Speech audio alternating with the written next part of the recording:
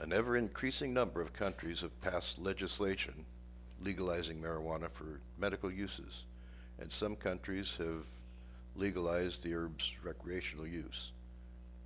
But every country has proprietary laws, which they use to determine who may and may not cultivate, sell, um, and export marijuana, and under what, what conditions they can do so.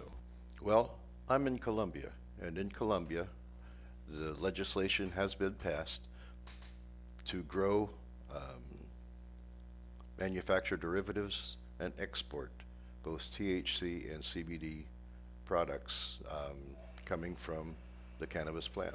But to license these, there are several different licenses and several different levels of licensing that have to be discussed. And that's what I'm going to do today with you. I'm going to talk about all of these different licenses, what type of licenses there are in Colombia, and the approximate, approximate cost of licenses. What you have to do is first you have to form a company in Colombia. Uh, company formation costs between $1,200 and $1,400. Uh, license applications. Now, that's a big issue.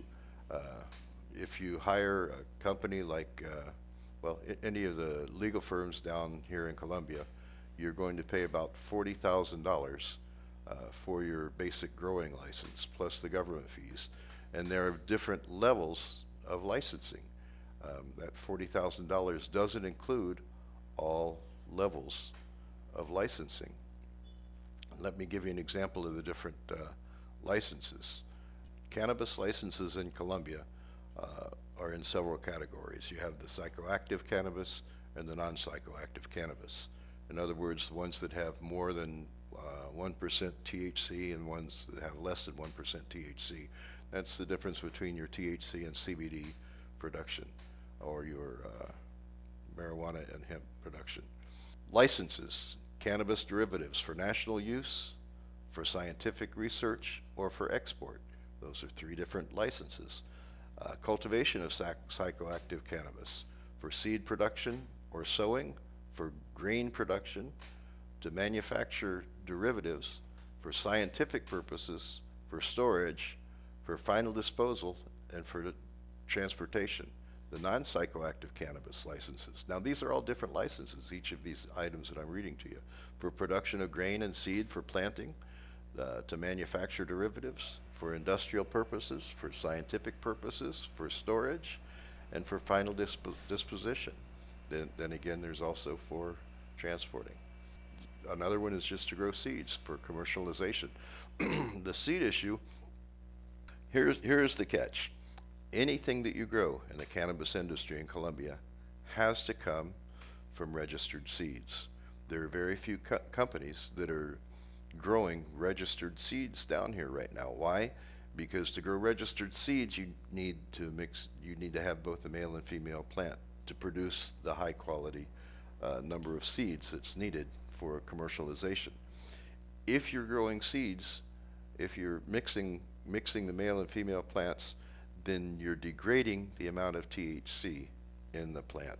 So many of the companies down here that are uh, heavy into THC, uh, the production and derivatives don't want to have the seed operation on their on their farm. I propose a seed operation, and not only a seed operation, but uh, making derivatives. These seeds, these derivatives, would would be for use nationally and for exportation around the world. Colombia is very aggressive in allowing exportation and trying to become the center for medical marijuana, medical cannabis. Um, we can produce a high grade CBD product down here. We can produce a high grade THC product. And we can produce these seeds that are of high value to the growers. The income from this is enormous just from the seeds without the exportation. However, the United States has just approved CBD, and that's not been done before. They moved it from off of the Schedule 1 list to a Schedule 4 list, which has authorized uh, medical use.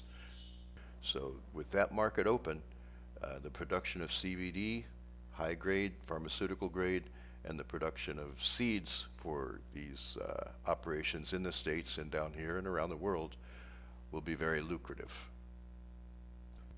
This is going to require an investment.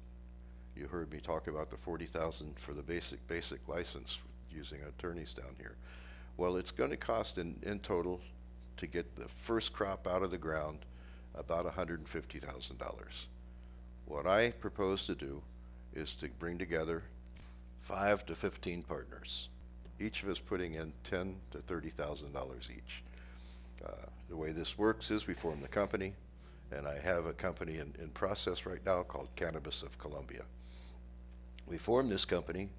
Um, we share all the profits. It's not like uh, buying stock in a company. However, stock will be issued uh, accordingly to the investment that each of us puts in. This is a, a pure partnership in a corporation formed in Colombia. Uh, we would, for instance, we would probably want to hold back 25% of the earnings of the company for future growth and split the rest. Um, this is something that uh, is in the process. I am looking for partners, but I'm going to be very selective in my partners because uh, to make this thing work, we have to be on the same sheet of music. Uh, it's a very difficult place down here in Colombia.